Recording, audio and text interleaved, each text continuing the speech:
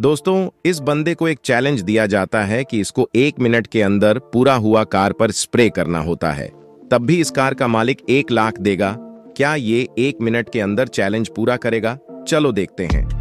अगर इसने एक मिनट के अंदर पूरा हुआ कार प्रति स्प्रे किया तो आप सभी वीडियो को लाइक करके चैनल को सब्सक्राइब करना पड़ेगा। हाँ हाँ ज़रूर सब्सक्राइब करेंगे। अब देखो मैं कैसे चैलेंज पूरा करता हूँ? हाँ देखते हैं कि तुम कैसे पूरा करते हो चैलेंज कंप्लीट